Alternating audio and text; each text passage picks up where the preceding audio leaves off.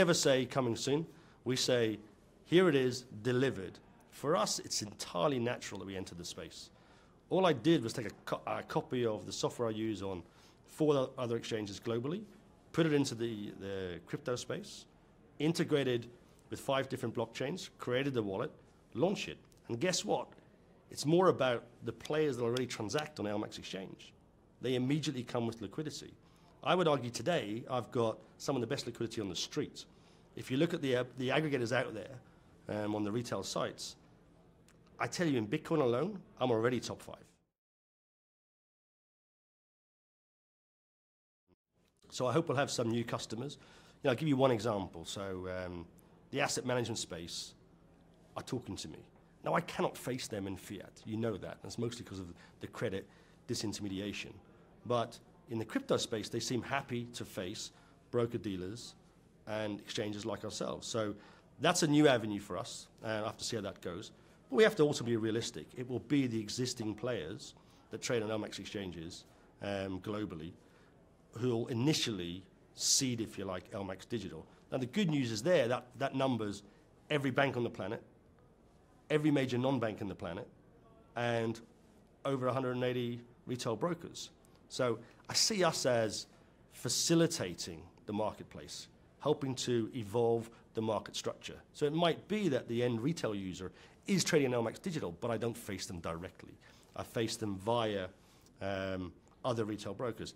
And the guys that uh, I was on the panel with just now, guess what? They're going to be customers of, customers of mine because they're broking OTC deals or they're trading on the other retail platforms, but they want some consolidated place to trade with like minded institutions and in some cases just transfer risk easily. It's quite hard to transfer risk today with all the retail platforms that are out there.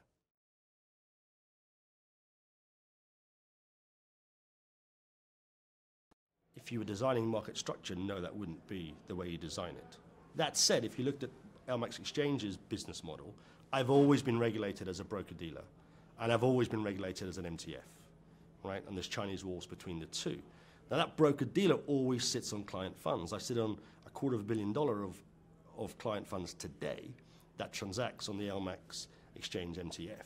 So the custody of coin is just the same as that, that business model. I will have a regulated digital broker and a regulated digital exchange. So it's natural that we have to have a custody solution. That said, in fiat, the banks disintermediate. And look, I'm not, um, we wouldn't be too egotistical there. I'm very happy for banks to be there. They have their place. You know, you would naturally rather park $100 million with Goldman Sachs, Citibank, J- uh, JP Morgan, other banks are available than LMAX, and I'm happy with that. So, but if you go the other on the other way, every efficient exchange out there in equities, in futures, also on clearinghouses. So it could be that's what happens, that's the evolution. In the meantime, we have to play with the cards we're dealt, which means we kind of do everything. I'd say it's a level above custody, actually, which is credit. Credit is the biggest issue I see in the marketplace today, and it's not something necessarily that I can solve because I'm not going to have the balance sheet that lends that credit.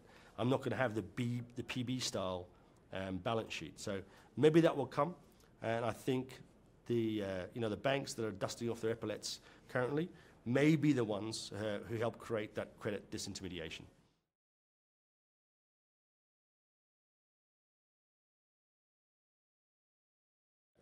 The knowledge transfer works two way, two ways, crypto to fiat. And first of all, let's look at what we can learn from them. They have done a phenomenal job, and the evangelists out there, in selling and marketing this space. They should not be criticized for um, some of the technical difficulties they may have had, because there simply was a gold rush, especially last summer, where you know, platforms are opening 100,000, 150,000 accounts a day. So they can learn nothing from us on that. On sales and marketing, they can learn nothing. Um, the high level maths and cryptography, they have that covered.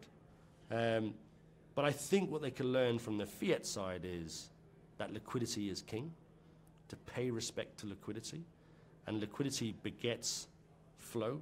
It's a self fulfilling circle. They need to, if you like, respect liquidity providers and be sure that they can provide it in all their assets that they list. It's all very well to take a, listing fee for a new ICO, but if you can't offer a two-way price, then you're going to have at least suffer some a lot of reputational risk, but you could suffer some financial risk on that as well. And then the other thing I think is um, moving away from the cloud onto what you'd expect in low latency exchange, industrialized scale uh, technology. They can buy it, they can rent it. They probably shouldn't build it because it's well established, not just in fiat, not just with LMAX Digital, but with all the futures exchanges and all the equities exchanges out there today. Um, I think that's where they could learn from us. So I think it's two way. For me, as I guess an older guy in the space now, um, I find it very exciting, a very exciting experiment that we have this knowledge transfer of um, to very different sets of people.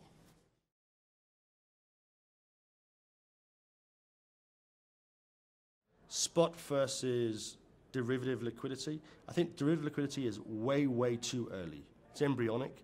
I think it's a risk to market structure. I'm amazed at the people that have uh, have have gone out there so early. Um, it's a tiny fraction of the cash market. Derivatives markets are built on efficient cash markets. We need an efficient cash market. It's as simple as that. The next time there's a crash or a ramp, is the liquidity going to be there in futures? What is the reference price they're using? I question those references prices. And if you look at, you know, grown-up exchanges using reference prices from five, six retail platforms, I just think it's crazy, Galen. And it, you know, the open interest in those products isn't there. Personally, I think that's a, a PR stunt. Liquidity, another question, fragmentation thereof across the plethora of retail platforms and you say institutional platforms, I believe we're the only one. It will consolidate in size. Size will consolidate. I sincerely hope it's, it consolidates around LMAX Digital. But we believe in the ecosystem. So I think all those retail platforms out there should take liquidity from the institutional grade exchanges that are out there. Why not? It's exactly what happens in the fiat foreign exchange space. When I have lots and lots of retail brokers who are much better at acquiring and servicing retail customers than I am.